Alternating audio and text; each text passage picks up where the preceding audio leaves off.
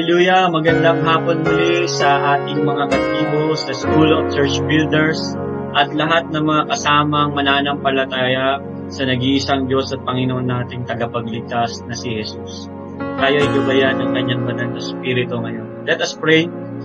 Father God, we thank you for your abundant grace na dinubuhos mo at uh, pinapadaloy mo sa aming kalagitnaan Thank you, Lord, for the words of righteousness. Thank you, Lord, for the words of wisdom. Thank you, Lord, for the words of guidance so that we will not be lawless, walang sinusunod. This instruction, these words of your truth will be our um, um, guidance and give us um, the grace that we will be able to operate, manifest, and walk and abide by your word so that we can do whatever you want us to do. Thank you for the grace and uh, the knowledge of our Lord Jesus Christ that we will come to know you more and that we will learn to be um, um, obedient and pleasing sa iyong harapan. We thank you, Father. We thank you, Lord Jesus. And we thank you, Holy Spirit. This we all pray. Amen and amen. Hallelujah. We are continuing um, part 4 for the profile of the pattern son. The profile of the pattern son again, uh, we have discussed um, Jesus Christ, He fulfilled all righteousness and He is the pleasing, uh, He, uh, God was pleased by Him in His baptism. It was uh, recorded. And yung righteousness and being pleasing is also equals to maturity. And the best example is the pattern son, Jesus Christ. He has the pattern from the Father and he was able to live victoriously here on earth as it is in heaven. So how do we do that? By following the pattern of Jesus Christ. And before we know the pattern, we have studied yung process. No? Process is the system by which we will go from A, point A to point B as as like um, from our will to God's will. Going from our will to God's will, the process to secure. So we need to have that pattern in our lives so that we will be able to be in the likeness, in the full measure, until we all come to the maturity and likeness, full stature of Jesus Christ. So, part of the um, yung gagawin ng Diyos sa ating buhay sa pamamagitan ng fivefold ministry according to Ephesians chapter 4 they are gift of God so that we will be edified, lumago, magmature, into the maturity, fullness of Christ. So these people will lead us uh, to become uh, uh, also uh, pleasing to God. So we need that process. As we understand that process, magiging madali sa atin yung pagsunod sa mga taong itinalaga sa atin ng Diyos. God-appointed leaders. No? As far as God is concerned, nandun na si Jesus ang, at, ang ating tagapagligtas, ang ating Panginoon. So, sino naman ang ating susundin? Yung those God-appointed leader. And as God gave us God-appointed leaders, He gives us also um, yung posture in the Spirit para lalong masecure yung ginagawang trabaho, yung ginagawang pagiging ganap ng Diyos sa ating buhay. Pinag-aralan natin, it's not about knowing the process, but it's about going through the process. Kailangan nating maisabuhay. Posture in the Spirit. Pinag-aralan natin tong posture in the Spirit to secure the pattern. What is that posture? Um, according to 2 Peter chapter 3, verse 14 to 18, Therefore, beloved, since you look for these things, be diligent to be found spotless and blameless by Him, at peace, and regard the patience of our Lord as salvation. Just as also our beloved brother Paul, according to the wisdom given him, wrote to you, as also in all his letters, speaking in them these things, in which there are some things that are hard to understand, which the untaught and unstable distort, as they do also the rest of the scripture, their own destruction. You therefore, Beloved, knowing this beforehand, be on your guard so that you are not carried away by the error of the scrupulous people and lose your own firm commitment, but grow in the grace and the knowledge of our Lord and Savior Jesus Christ. To Him be the glory both now and to the day of eternity. So ito po yung ating um, scripture na pagbabasehan patungkol sa posture in the spirit to secure the pattern. So everyone needs proper posture to maintain balance and to maintain um, steadiness or sturdiness sa pagliliglig ng mga circumstansya sa ating buhay. And what about us? No? So sa atin, hindi pinangako ng Diyos na magiging madali ang ating paglilingkod. Bag, bagamat uh, tayo nasa mundo, kagaya ng kanyang panalangin, sanctify us by your word. Your word is truth. Ang magpapaging banal, magpapag magpapag-ingat sa atin yung kasalita ng Diyos. So, we need to have that kind of posture in the spirit na sa ganun, hindi tayo madaling sumuko o tumigil o worst case scenario, mag-backslide. Okay? So we need to be firm and to be established in this foundation. Sa gayon, maging uh, maayos yung ating expectation. No? So God did not give us a fire-free life, but a fire-proof life. So that posture in the spirit, we need to have this so that we will become strong and steady sa ating pananampalataya. Di ba ang sabi ng Panginoon, um, those who remain until the end will be saved. Those who remain until the end will be saved. So, maraming nag-uumpisa ng maganda, maraming sumusunod ng maayos, pero sa bandang huli, tumalikod. Nung nahirapan, sumuko at huminto. Pero naniniwala ko ang kalooban ng Diyos tayo makapagpatuloy as uh, according to His words. Gusto niya manatili tayo hanggang wakas. At sabi sa mga um, um, talinghaga ni Haring Solomon, mas maigi ang wakas kaysa sa umpisa. Okay? Mas maigi. Uh, anhin mo yung inumpisahan kung bandang huli, huminto. So, wala rin natapos. So, mas maigi yung uh, um, strong finisher. Okay? Kesa great starter. So sa ating buhay, we need to have this kind of posture. So yung inumpisahan ng Diyos sa atin, He will bring it to completion. Amen. So, pinag-aralan natin yung posture in the Spirit. Those who have or the power to possess. Those who have been given or the power to receive. Those who grow or the power to advance. And those who glorify the power to prevail and govern. Inisa-isa natin, those who have the power to possess, they have, kaya sila meron, they have hope, patience, salvation, deliverance, and wisdom. So, tayo binigyan ng um, ng mga biyaya ng Diyos, it's because ito yung mga bagay na tinanim natin. We can never have what we do not, uh, um, kumbaga, we can never um, possess the things that we do not um, initially um, kumbaga, na pinagpaguran. Yes, praise God for the grace. It's unmerited favor. But more uh, grace na that's unmerited favor at um, na pwedeng ibigay sa atin ng Lord uh, occasionally. Pero iba din yung daily grace, okay, na binibigay sa atin ng Lord. Um, naalala ko, nabanggit ko minsan dito na kung saan sabi 'di ba, parehas na ang araw at ang ulan ay bumababa para sa mabuti at masama. Yes, that is tinatawag na parang um, no work, no pay. Pag hindi ka gumising, hindi mo ma-experience yung sun and rain.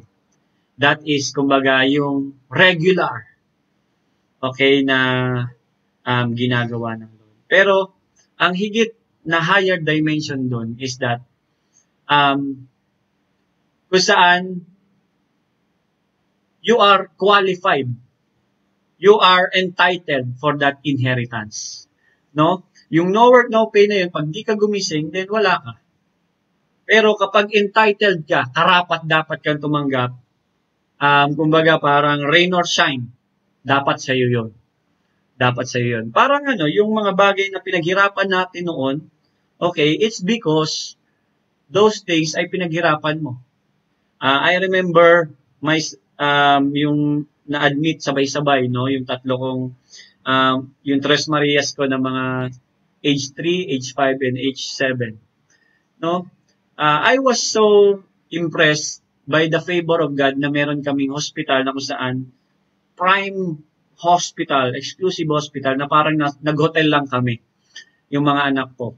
Magkakatabi pa, may sariling TV, may sariling aircon, may sariling rep, may sariling ano, uh, lahat nandoon na. So I was impressed by the favor of God. And I realized I have that power to possess. No? Um, before that, let me go back. Um, yung power to, in these uh, prophetic words compared to those who have, those who have been given, those who grow, those who glorify. Compared to the prophetic words na those who have, ang ibig sabihin niya, they have the power to possess. Kaya sila meron. Those who have been given, they have the power to receive. Kaya sila tumatanggap. Those who grow, they have the power to advance. Okay? And those who glorify the power to prevail and govern. This power, we defined it last time.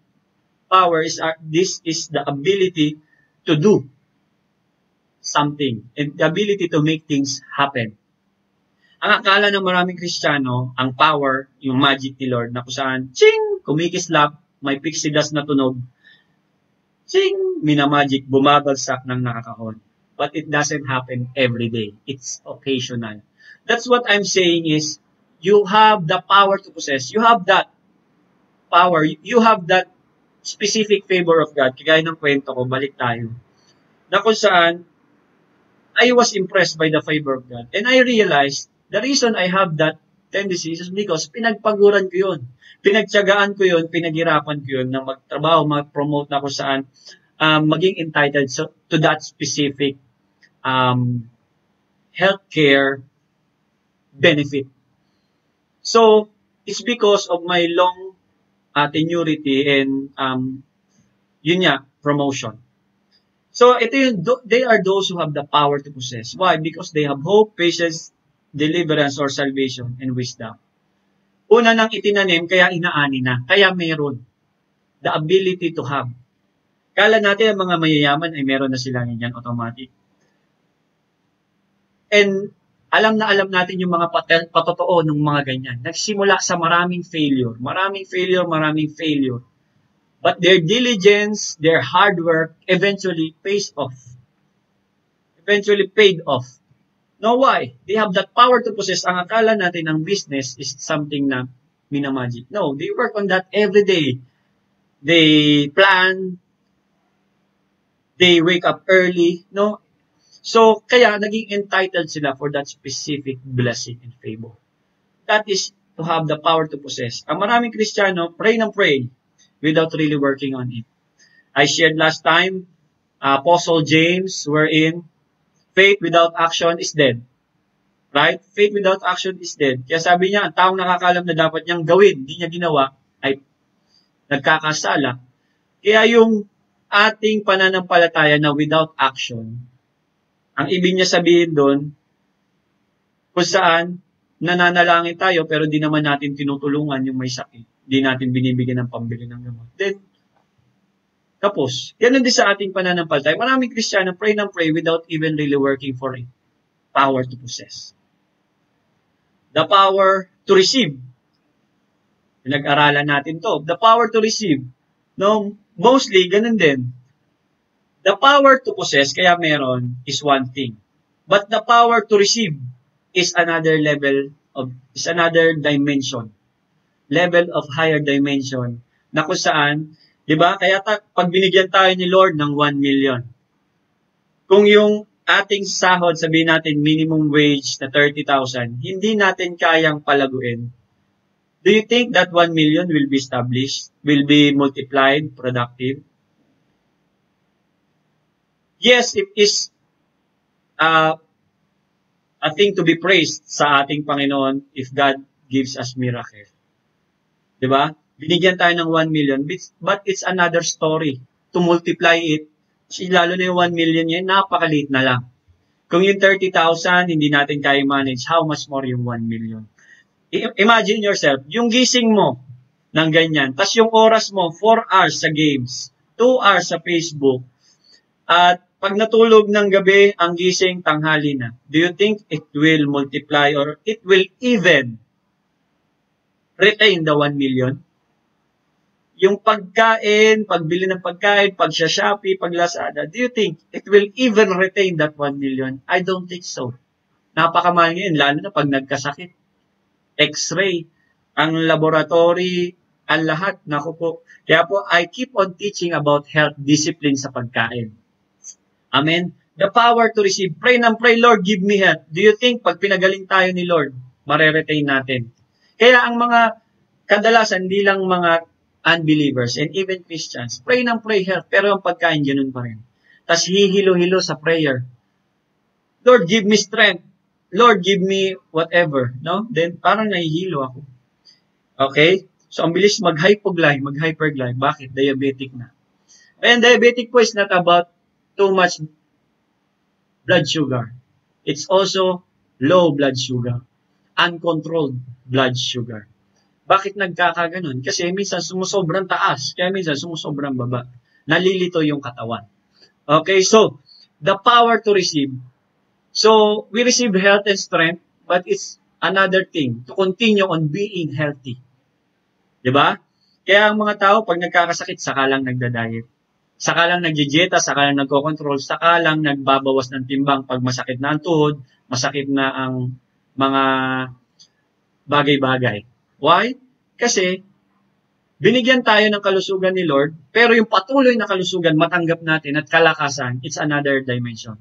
So, the power to receive. Ganon din sa money, sa finances. Ganon din sa health. Ganon din sa ministry. Marami tao magaling mag-pray, magaling mag-worship, but they do not work out on their power, or their ability to do and the ability to, to make things happen in terms of what? Diba? The the parable of the good steward. It doesn't matter how much God has given us. Diba? It doesn't matter how, it, uh, it's not about what we have, but it's about what we do with what we have. So, yun. The power to receive is another thing. The power to possess and the power to receive. Now, we are beginning to be open sa mga bagay-bagay na binibigay sa atin ni Lord, no? Um, yung last natin pinag-aralan, the power to advance. Yan. Maraming taong alam na advance yung utang. Hindi pa sumasahod na gastos na, pa-advance. Pero itong kind of advancing, pinag-aralan natin, is about having a knowing mindset, steadfast attitude, and firm commitment. We are destined to be blessed. Amen? And we are destined to be a blessing. Maraming tao gusto hingi ng hingi, tumanggap ng tumanggap. That is the poverty mentality. Tumanggap ng tumanggap, Di ba? Ni-review natin yung story ni Pastor Wilbert na praise God for the blessing we receive. But one day, na-realize natin na kung saan hindi pala maganda. Laging tumatanggap. Laging hamon sa atin ng ating spiritual director ng SCB, mas maigi nang tayo ang tumutulong kaysa tayo ang tinutulungan. Mas maigi nang tayo ang tumutulong kaysa tayo ang tinutulungan. Maraming mga ganitong mga Kristiyano, no? Okay na yung ministry. Maganda na. Pinagpala na. Okay na si pastor. So, hindi na kailangan ng masyadong suporta kasi may mga sumusuporta na. Walang mindset of advancing. Kaya yung destiny, hindi na po fulfill. Yung plano ng Diyos, yung God's will, nagiging my will na lang. Okay na ako. Okay? Kaya nga sabi sa Bible, everything is permissible. Maaari naman, but not everything is constructive. Pero hindi nakakatulong. Everything is beneficial, but not everything is permissible, but not everything is beneficial. Maaari naman na ganun, pahintulutan natin na lang yung ganun yung ministry, ganun yung buhay natin. Okay naman yung ministry, okay na yung, ano, um, ako. Diyan lang kayo, dito lang ako. But not is not beneficial. Remember the calling of God sa ating mga Kristiyano. We are destined to be blessed so that we will become a blessing. Deuteronomy chapter 28 verse 1 to 14. And marami sa tao ayaw na mag-grow, ayaw na mag-advance, ayaw nang mag-increase, okay na ako, ayahay na ako. I will have um, a yearly, a monthly um, vacation. Puro na lang vacation. Sabi nga, nang nagturo sa akin ng mga una, sacrifice now, enjoy later. Sacrifice now, enjoy later. Marami naman, enjoy now, pagdating ng dulo. Sisisihin natin yung hospital, ang pangit. Sisisihin natin yung gobyerno, masama. Bakit hindi natin paunlarin na lang natin yung ating mga sarili? I-advance natin. No? Kaysa isisi natin sa government. Walang pampa-hospital yung mga magulang ko. Bakit hindi natin sikapin na pati magulang natin may healthcare din? The power to advance. We are a blessing we will be blessed so that we will become a blessing. As simple as that. The power to advance. And marami sa atin ayaw na. Tumitigil na. What happens pag tumitigil? Decay and decline. See what happens to the first generation of Israel. Ayaw nilang mag-move forward. Anong nangyari? Decay and decline. Sino ang gustong mag-move forward? Si Joshua and Caleb. That's why they crossed over to the, what God has promised them. Sino sa atin gusto ditong mag-break forth?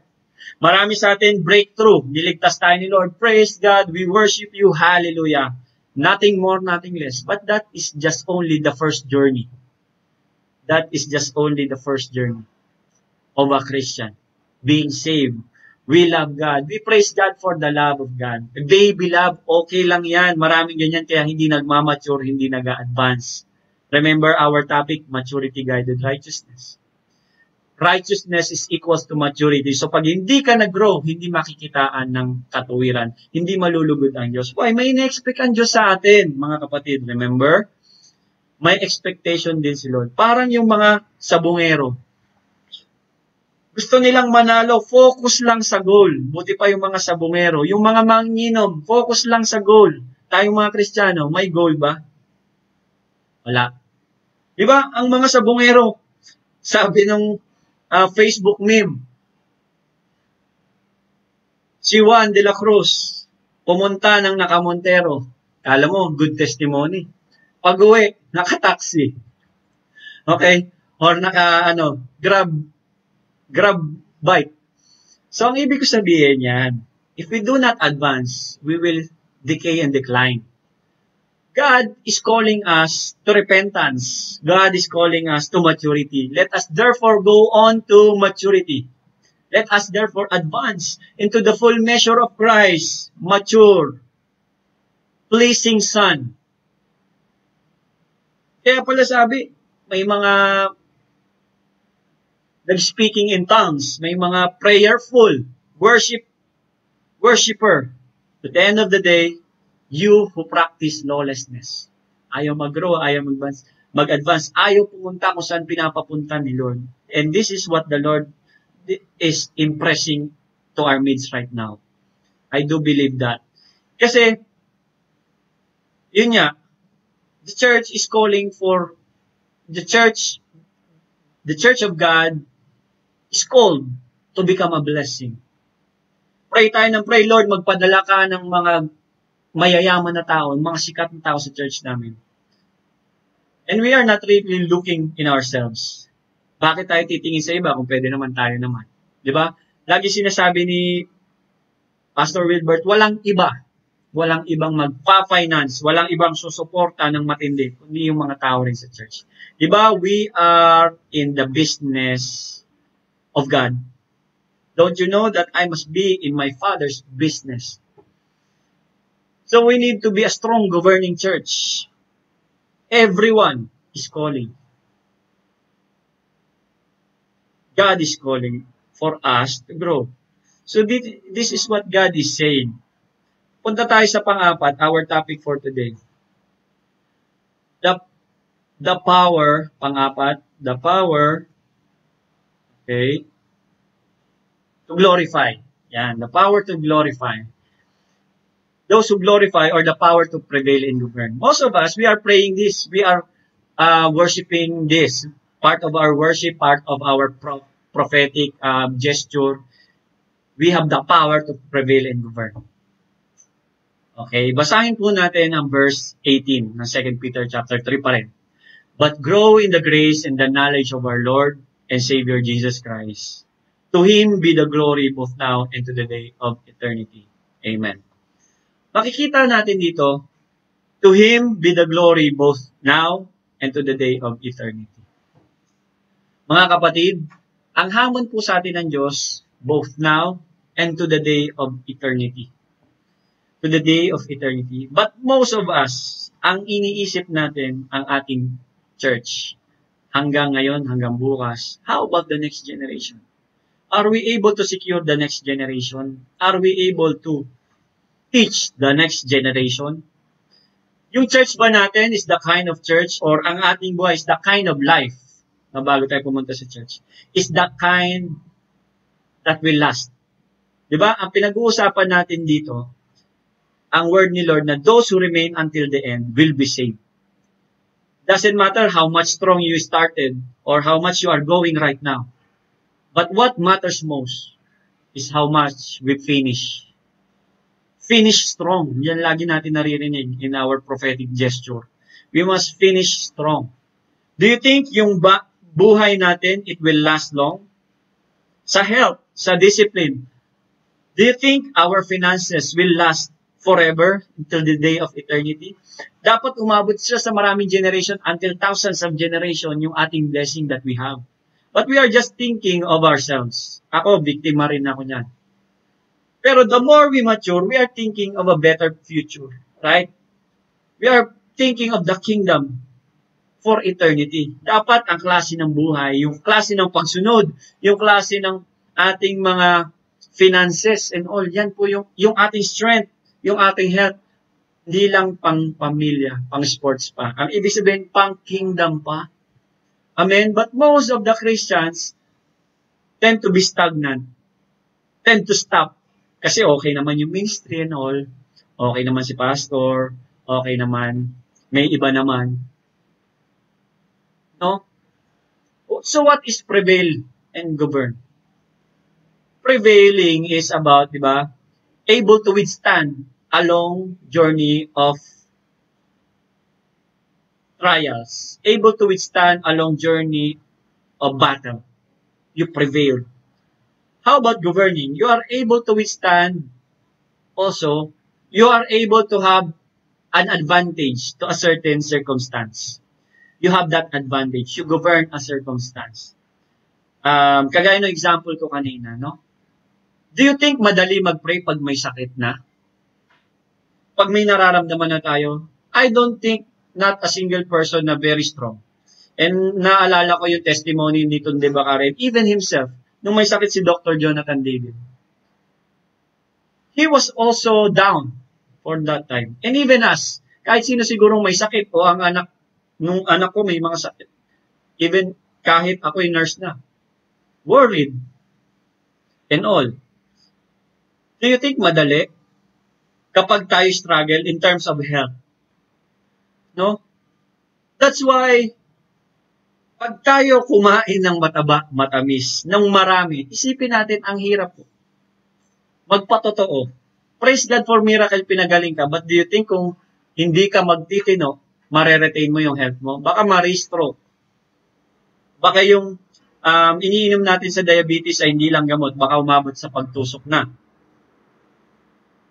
Again, I'm, uh, please consider my thoughts on health.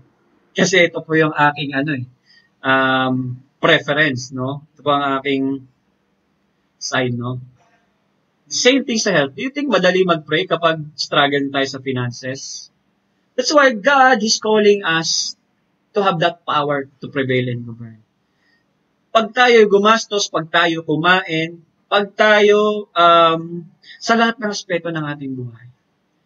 Dapat ang tinitingnan natin yung long-term goal.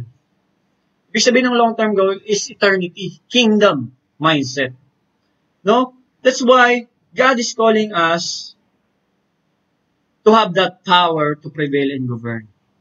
Huwag lalambot-lambot, huwag hihina-hina. In terms of all aspect. No, ipakita natin sa Diyos, ipakita natin sa tao na tayo ay hindi basta-basta. We are not a just-just. No? Kaya nga, ngayon daw, hindi na daw mahirap paghiwalayin ang Kristiyano at mga unbelievers. Why? We are living the same standard. No? So let us be joined together. Let us unite in prayer. Let us become united in faith in Christ. Na kung saan, anuman ang meron tayo ngayon, pagyamanin ni Lord. Amen? Palaguin pa ni Lord. Amen? At turuan tayo ni Lord na maging matured and good and steward. It doesn't how matter how much what how, what we have, but what we do with what we have. Diba? The kingdom of God is like the coming of a thief where we are not guarded. Diba? Isa sa mga pinag-aaralan natin, nakaraan, be guarded. Kala natin, ang guidance ni Lord, ang protection ni Lord is an invisible shield. The same way sa miracle, sa magic thing. Anong gusto natin? Yung araw-araw na grasya ni Lord na kumikilos. Halimbawa, yung nabanggit ko ulit, let's go back to health. Okay? Again, ang adobo ay ibang klaseng sabaw kumpara sa sinigang. hindi po, ang toyo ay sausawan, hindi sabaw. Okay? Discipline. Tayo minsan ayaw nating pawisan. Huwag na tayo masyadong maging malalim sa ating mga hermeneutics, theoretical um, backgrounds sa ano. Pero masyado tayo malalim sa worship, sa prayer, pero sa discipline. Diyan po tayo maraming bagsak. Sa time, ako rin po, sa time.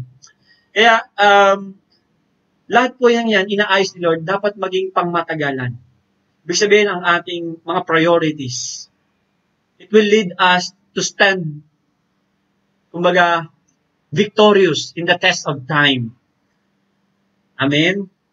Um, first time in the history, mas mahal ang diesel kaysa sa gas. And yet we are still keep on consuming, consuming, uh, what I'm saying is we keep on having more liabilities, gastos ng gastos, money out, money out, money out. And we don't have money in. Okay? Let's be joined together lalo na yung practicality of things, no? Uh, it's the same as faith without action is dead. So let us prevail and govern by by which sa ating time, treasure, and talent. I do believe God is calling us to prevail in the in the area of finances, in the area of our time, our priorities, in the area of our growth and development, in our area of learning, in our area of maturing, no? In the spirit and at the same time in the physical. So ito po yung ating kinakailangan, I do believe, to help us grow, glorify in the Lord. So, what are the things to have? To have that power to prevail and govern? Tingnan natin ha but grow in the grace and the knowledge of our Lord and Savior Jesus Christ. To Him be the glory both now and forever. Growing in grace and growing in knowledge. No? Grow in grace and knowledge. As Jesus did in Luke 2.52, hindi ko na po na-include. Jesus Christ grow in wisdom and stature. Luke 2.52. Jesus Christ grew in wisdom and stature. In favor with man and favor with God. Okay. May favor with man and favor with God. Gusto ng Diyos tayo lumago sa lahat ng aspeto ng ating buhay. And favor with man and favor with God will come along. It will come next. I do believe in that. It will eventually and it will naturally come next. Kapag tayo ay mature sa time, di ba? Kagaya nung sinasabi ko, binigyan tayo ng 1 million ni Lord. But are, um, do we have that power, no? To retain, multiply, or make it grow. Parable of the talent. Those who sow sparingly will reap sparingly. 2 Corinthians 9.6 Those who sow abundantly will reap abundantly.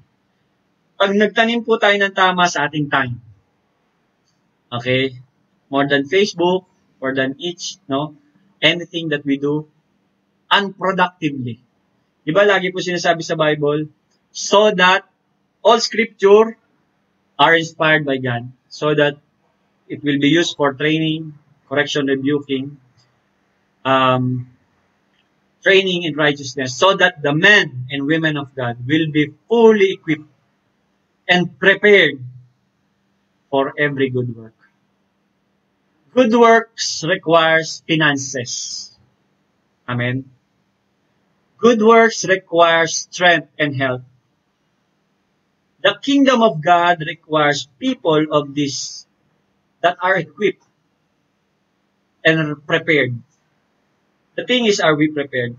Imagine ourselves, yung business natin, yung kabuhayan natin, yung lakas natin, is it prepared and equipped for the kingdom of advancement of God? For the kingdom advancement of God? Naniniwala ako ang karya ng Diyos ay dakila at maluwalhati. Naniniwala ko ang karya ng Diyos, it is local, globally and locally applicable setting. Do you think ang, ang, ang ating ministries, ang ating quality of life ngayon, ang quality of life, it will be victorious in the test of time? Halimbawa, magkasakit si nanay, tatay. Magkasakit si pastor, si sister. Are we able to still praise God? Di ba? So dito, nare-require tayo na mag-prevail, mag-govern. The power to possess, the power to receive, and the power to advance. We have the advantage position in every circumstances. How? The ability, the power to do, to make things happen. It doesn't happen by uh, miracle box, but it doesn't. It should happen. The grace of God should happen every day. The grace of God is the, uh, is the ability and the power of God to make us the person that God wants us to be. We must be that kind of person. And we must also be that kind of person doing what God requires. The season requires. The season requires we must prevail and govern in all circumstance. The season requires that we must have advantage. Okay, sa tingin nyo, we will have advantage kung tayo laging nanghihingi. Kung tayo laging mahihina. Diba? The season requires we should become a blessing to many. We should become a blessing to many. Sa tingin nyo, aabot ang ating mga kita, ang ating kabuhayan to become a blessing to many.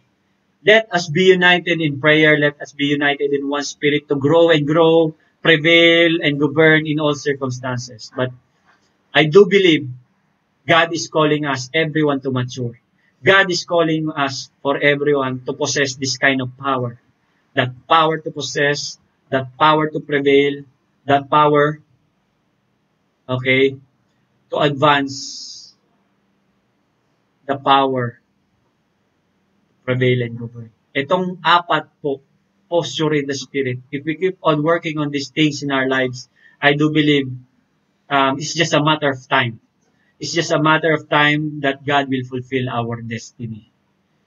So that the kingdom of God shall know no end, so that the kingdom of this world will be the kingdom of our Lord Jesus Christ. Napakadakila po ng ating Diyos, napakadakila ng kanyang business, ng kanyang karyan, napakadakila ng ating assignment. So we need to work in partnership with God. We need to really grow, advance, have this kind of power. Amen? So let us pray. Father God, we thank you again for teaching us to mature in the full stature of Christ let us leave the elementary teaching na kung saan um, yung mga baby love, yung ba- um, na aming mga immaturity, patuloy naming hanapin, palaguin, pagmaturin ng aming mga sarili. Sa gayon, until we come to the full measure of Christ, pleasing to God, fulfilling all righteousness. Hallelujah. We cannot do this alone. We are helpless. We are weak and feeble. But in Christ Jesus, we become perfected. Nagiging ganap yung aming mga kahinaan. Nagiging ganap uh, yung aming uh, kahinaan into strength. Nagiging ganap yung aming mga immaturity into maturity. Hallelujah. Yung mga dapat maging wasto at maging, maging dapat kalugod-lugod sa harapan mo mangyari sa aming buhay. Let us be a good manager. Let us be a good steward of our time, treasure, and everything so that we will become strong influential, hallelujah, significant in our generation. That is our assignment. Our God is a great God, and we shall become great people of God, and we shall become mighty and strong people, kingdom advancing. Hallelujah, heaven and earth. Hallelujah. We cannot do this on our own stature right now, but thank you for increasing our stature. Thank you for teaching us and leading us giving us the grace to live day by day, to live every moment of our life in the stature of Christ, pleasing to you.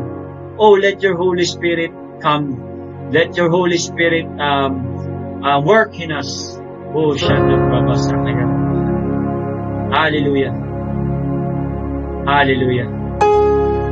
Our faith, hallelujah, shall come into manifestation. We shall operate, hallelujah. Hallelujah. We shall be fully prepared for every good mightily, strong. Hallelujah. Thank you for correcting us, making us accurate, not weak but strong. Hallelujah. Not lacking but abundant. Hallelujah. Not a victim but a victor. Hallelujah. In the name of Jesus. Thank you. Thank you, Lord. Sinabi mo, you have called us from darkness to light. Thank you for that glorifying light. Oh God, directing us, leading us right now to live pleasing, mature, righteous in your sight. In the name of Jesus, please we pray. Amen and amen. Hallelujah. Hallelujah. Salamat sa dakilang Diyos sa kanyang pagtuturo muli sa pamamagitan ng kanyang salita, yung katotohanan ng kanyang salita, maging ating gabay at maging ating kapayapaan sa ating pagsunod at ating pagsulong ng karya ng Diyos. Kapayapaan at grasya ng Diyos ang sumaatinawa. God bless SCB.